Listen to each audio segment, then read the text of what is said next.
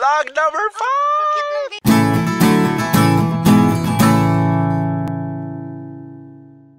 Hello. If you're wondering where I am, I'm in the mountains. Sa mountains ako guys. Bibili kami ng bahay dito. dito. Bibili kami ng bahay. Ayan. Ayan. Ah, nag-shoot kami ng film. This is our director. Hello, Ate Kay. Hello. This is Arjo Lalay. Nagbababa na kami sa elementary school. Yung mga Marcy, pero yung sapatos ko, tinan mo. Corpo. Very wrong day today for me and my mascom corpo duties. So, ayun na nga.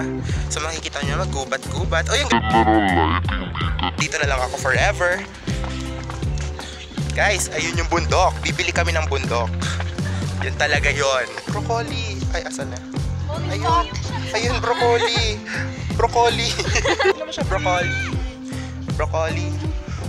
Broccoli din to. Napakaputing broccoli.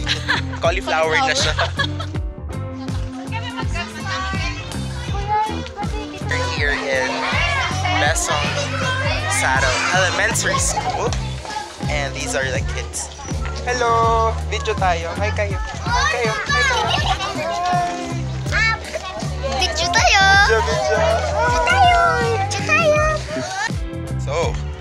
Ate Kay, kamusta ang first day of shooting? Success! Anong kinakain mo? Alibaba. Maga-maga, chicheria. I love pets. That's why I love you. Chara! I love you! love you. Over. Hiking. Tapos tinan mo yung sapatos ko. Perfect. Yung sapatos ko. Hiking. Pero yung sapatos ay... Corpo. Tinan mo, nakapolo pa ako ng puti. Animal. So ito, 100 meters. Walang ways dito mga kumare. Kung mga kumaring kilikili ko basa na. Bakit ganon? Ayoko na mag-film. Dear prof ko sa film, mag-drop na po ako.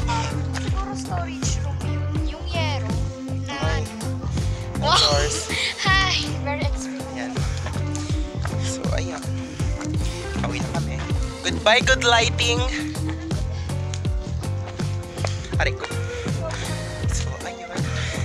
I'm tired. Good Lord Jesus Christ.